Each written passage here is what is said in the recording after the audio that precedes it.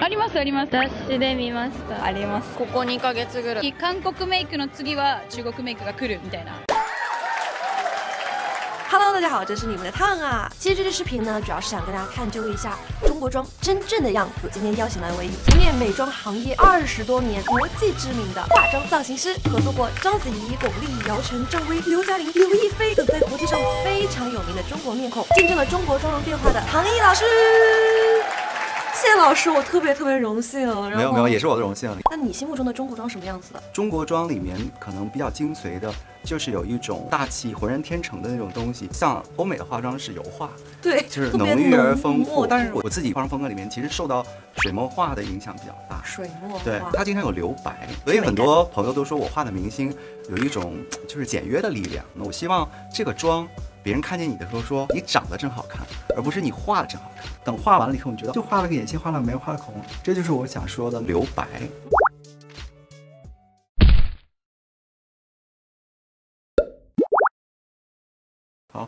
好，我们开始吧。所以我化妆可能比较追求这种特别自然裸透的陶瓷感的这种基底。嗯，那妆前的护肤特别重要。我对保湿的这种手法就是一定要强保湿，不管你什么样的肤质，保湿都必不可少。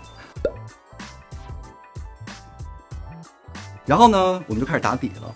那么我在这儿给大家介绍一个新型打底法。所谓新型打底法，就是说我们的粉底重心集中了面部中央，其实就是集中在这个心形区域里面。那你可以用这个粉底刷啊，轻轻的以打圈的方法呢推开粉底，千万不要一上来就是特别的厚啊，特别的多。薄薄上了一层以后，这边的痘印儿轻轻的被遮盖。我一般是这样的，我打底呢，我刚开始不大概打一个底，然后我就开始画眼妆，等眼妆画差不多，我再修底。底妆到后面会微微的氧化，一般来说会留到所有妆完成之后，再再重新再补一次，补到完美无瑕的状态。对。好，我们来画一下眼妆啊。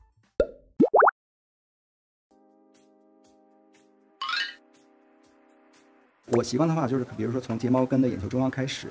先用比较少的颜色去铺，那你第一个是加强了眼球中间的这个深度，因为他老觉得自己这个眼睛有点肿，然后让这个颜色慢慢往上淡的时候，第二个位置是眉心下方这个地方呢，连着眉毛的眉头可以一起画，画一个类似三角形的区域。然后第三个其实呢就是往后画，去铺一个更大面积的眼尾的一个大地色。所以你看我都画到眉毛到太阳穴这个中间的这个位置，然后再收笔让它消失。然后这个打底的颜色最后呢就是下面也需要画。同时强调一下卧蚕下方，就是你整个眼影铺过来以后呢，其实让它形成一个新的一个眼型的轮廓，对，完整给它衔接过来。对，然后呢，我这个时候加一点点微珠光的这种提亮色，比如加在眼球的中央，你的眼睛鼓一点点，我先用一个深色把你压进去，我再用一个淡淡的浅色微提一点，就去平衡那个所谓的肿的这种程度。就是很多女孩说，哎，我眼眼睛有点肿，微珠光是没有问题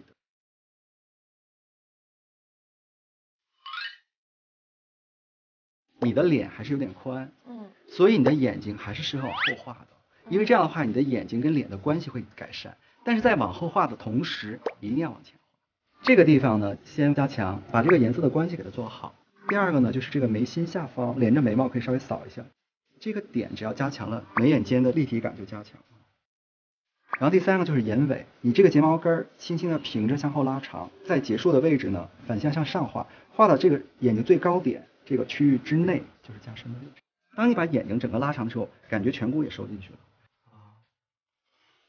然后刷的剩的那一点点，让它过渡一下，就是它每个区域都是明暗明暗明暗关系，这儿是深的，这儿是深的，但这个中间是浅的。然后这儿是深的，这儿是深的，但中间是浅的。就是你去画的每一笔都是该画的，而不是多余的。就老师说的精准化妆。对。然后我们现在来画那个眼线，没有一条眼线是从头到尾一样粗的，所以你要保证这条线条的上边缘非常的光滑流畅。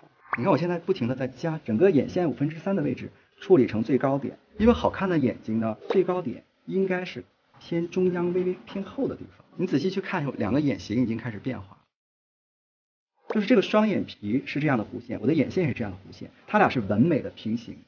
我自己看你新年那一期节目里面，我觉得别的画很好，就是这个眼线的在眼球中央的时候有点粗了，有点粗了以后会让你的双眼皮的。宽度在这个地方有一点打折，有点打折。等我们妆整个完了以后，你觉得眼影不见了？融到里面。一个是被吸收了一部分，同时你把别的地方全铺上来，比如眉毛也加强了，腮红加强，口红加强，这个眼影变得很淡了。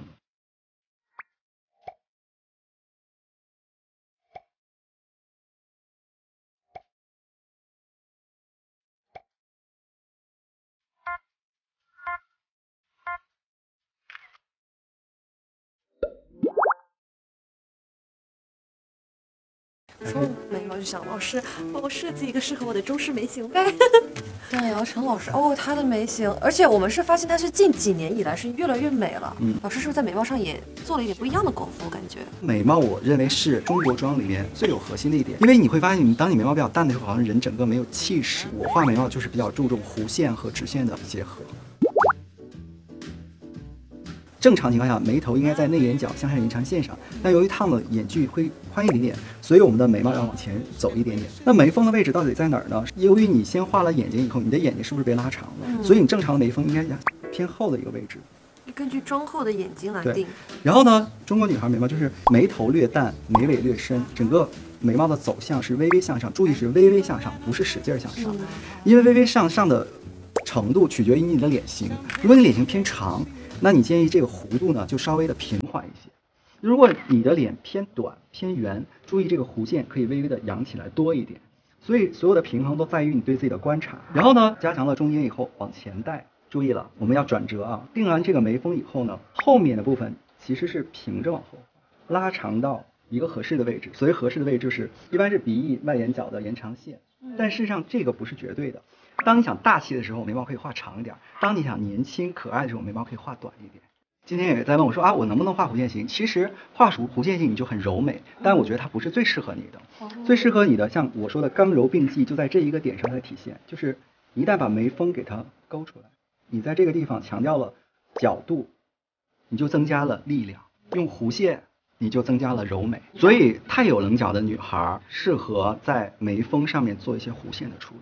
刚柔并济是你需要自己平衡的。比如说我拍《爱了》杂志，《爱了》杂志是一个非常松弛的生活化的美，所以我会把眉毛画的稍微淡一点。但是我拍 Vogue，然后我需要那种特别强势、特别有力量，我可能把眉毛画成像炭一样黑。有一次我画一个特别粗的眉毛，汪峰过来跟我说：“你怎么了？” 后来等拍完照片以后，哎，发现挺合适的。所以汪峰老师也是会去探班的是吗？经常，他俩非常的。嗯，那我觉得中国妆容里面对于眉毛规划的干净利索，不拖泥带水，边缘呢很清楚。然后有些人说，到底是上边缘虚啊，还是下边缘虚？觉得取决于什么呢？取决于眉眼间的间距。刻画，比如放在下边的时候，你眉眼间距会走近，那比较适合眉眼间距宽的人。然后如果说你眉眼间距近，你把上边缘可以刻画的实一点。像我们一趟特别完美，就是 上上边缘也虚一点，下边也虚一点。哦，其实所有的细节呢，都是在帮你去表现你的特质。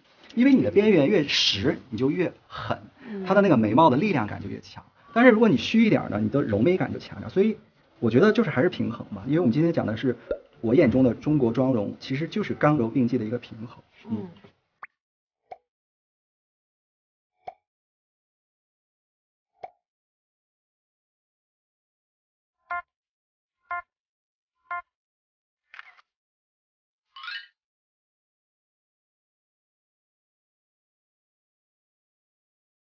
子怡老师她参加那个综艺的时候，是是您给负责的妆面吗？都有。大家就说他很不一样的地方，就是他整个人看起来像在发光，又觉得妆不重，而且很有少女感。一会儿那个我就给你处理底妆的时候，就告诉你怎么发光。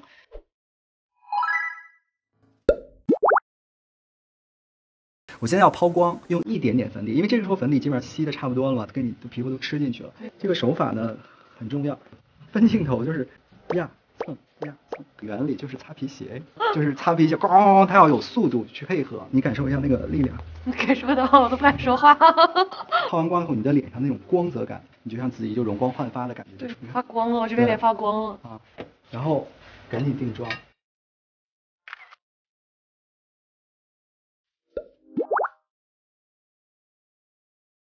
然后呢，像一他这种脸呢，就是有痘印儿的人，因为。不太适合刷，基本是轻压，然后通过你力量控制，让边缘呢稍微的虚化一些。这个笑起来的时候，最鼓的地方微微向上的位置，顺势带到眼周。一般来讲，粉色腮红靠前画会年轻，然后把橘色腮红画在颧骨和团式腮红微微向下的地方，这个地方帮它制造一个腮红的阴影。暗影方面，我画的是三次修容。第一个三呢，就是从颧骨微微向上的地方。这个三凹陷的地方是我们的颧弓下陷的，刚才画的这个位置。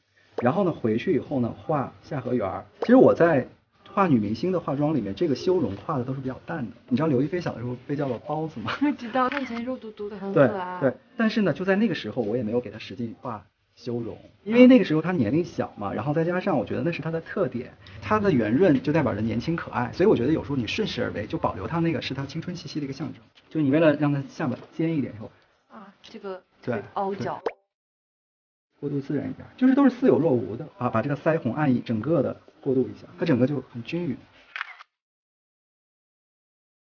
痘印女孩也是，不要使劲刷它，就是拿这个高光压在画腮红的这个地方，你看这光感就出来了。我其实特别想问烫一个问题啊，就是烫特别有意思，就是来邀请我化妆的时候，就跟我讲一个什么啊，圆脸有痘印儿，什么呃眼距宽的女孩该怎么化妆？对我这代表了我的心声。我特别想问你是，你觉得你的优点是什么？我好像经常看到自己缺点，我很少看到自己的优点。嗯，就是你代表很多我身边的女孩也是这样的，基本上冲过来都问我说，哎，唐老师，你看我这儿不好，我那儿不好。但是我觉得我们化妆师真的是很多时候都是先去发现你的优点，然后去想怎么把你的优点尽量体现在大家面前。我们都叫扬长避短嘛，对吧？一定要先学会扬长。我觉得这是我今天特别想跟你说的。我觉得在你的脸上，你的唇真的是给你加分的。啊，其实眼妆的浓度啊什么，很多时候比如就是这样，它有一定的，然后通过唇部的颜色调整来表现你或柔或浓烈的这种质感哈，配上一个相对淡一点的唇，你就是一个自然的妆感。中国妆比较注重红唇，嗯，然后，现在比较流行的就是烫的这种唇峰略尖，但是整个嘴是一个笑嘴，把这个对，把这个嘴角稍微加高一点。点。现在给你精心的画这个唇妆，基本上是拍封面的时候会这么认真，因为拍封面的时候照片是被固定的，它比视频其实更容易展现出毛病，所以就是需要特别的精致和准确。那我就叫做精准化妆，嗯，大体上就是这样。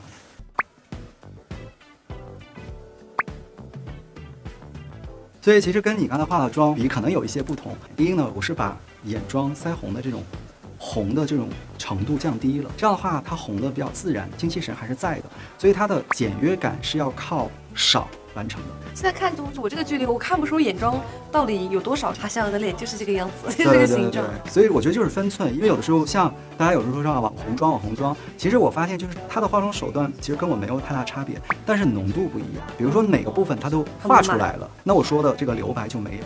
我觉得高级的妆容就是等画完了以后，你觉得哦，我好像就画了个眼线，画了眉画口红，完了，嗯，这就是我想说的那个嗯留白化妆的一个要点。